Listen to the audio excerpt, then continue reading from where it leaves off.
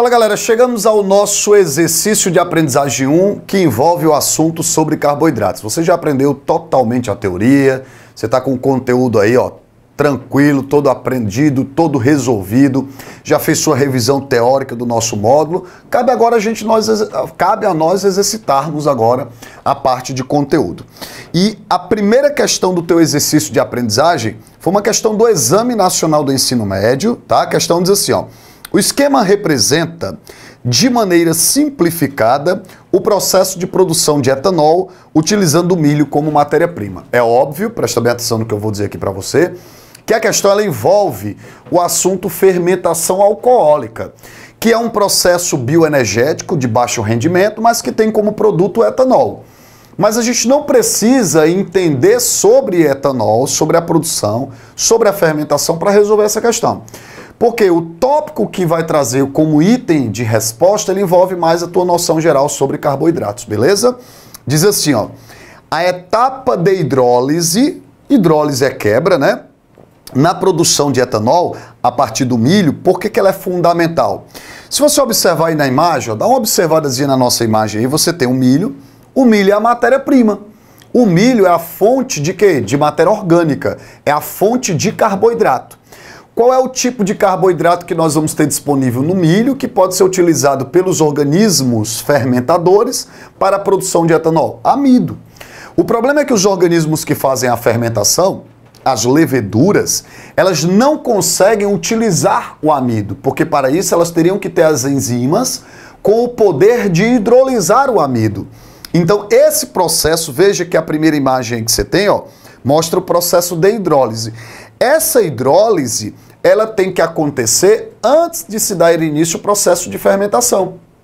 Uma vez que o milho não possui os açúcares fermentescíveis. O que seriam os açúcares fermentescíveis? Os açúcares que possam ser utilizados pelos, pelas leveduras para poder fazer o processo de fermentação alcoólica. Então, o primeiro passo é a hidrólise do amido no milho. É bom até citar para vocês, no Brasil, certo? O etanol como biocombustível, o etanol de primeira geração, ele é produzido a partir de quê? Ele é produzido a partir da cana-de-açúcar. Uma vez que na cana-de-açúcar você tem carboidratos mais simples, você tem a sacarose. Já, por exemplo, nos Estados Unidos, o etanol de primeira geração é produzido a partir do milho.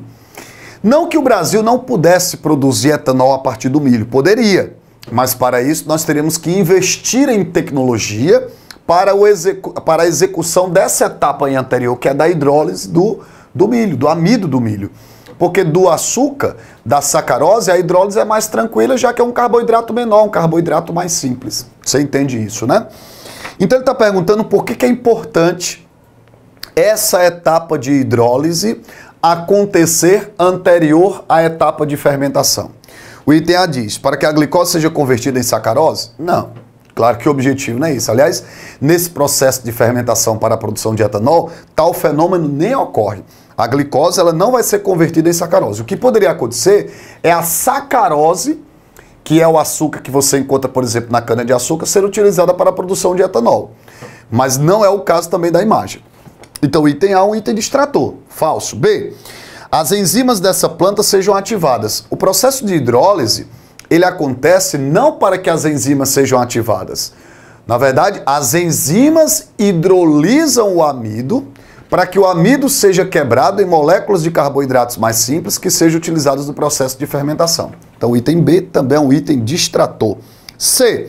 A maceração favoreça a solubilização em água. Lembrando que esse processo de hidrólise é um processo químico, é um processo enzimático, não é um processo de maceração. Macerar é um processo mecânico de quebra também que contribui, mas ele é um processo mecânico e ele não consiste um processo de hidrólise química. Falso.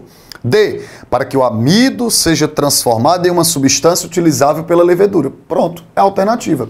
O que que o item D, né, ele, ele acaba é, trazendo como item mais coerente? Porque o item D ele dialoga com o comando da questão. O comando da questão ele pergunta exatamente por que, que a hidrólise anterior ao processo de fermentação é um fenômeno extrem, extremamente importante para a fermentação alcoólica. Porque essa hidrólise pega o amido, e disponibiliza a partir da quebra do amido os açúcares utilizados pelas leveduras no processo de fermentação alcoólica. Então você já sabe que a resposta é o item D, didrosófila melanogasta. E o item E, para que os grãos com diferentes composições químicas sejam padronizados. A hidrólise não tem intuito de padronização de grãos, não. A hidrólise, repito, é para a quebra do amido. Então a primeira questão do nosso exercício de aprendizagem, questão do Enem, que falava sobre fermentação alcoólica, mas que tra traz, traz, na verdade, como importância mesmo, você verificar a etapa inicial, que é a etapa de quebra do amido, já que o amido é um, um açúcar mais complexo, é um polissacarídeo, é um polímero, e ele precisa sofrer quebra. Beleza, gente? Tá resolvido o nosso primeiro exercício de aprendizagem e a gente se encontra no exercício número 2. Até mais, gente!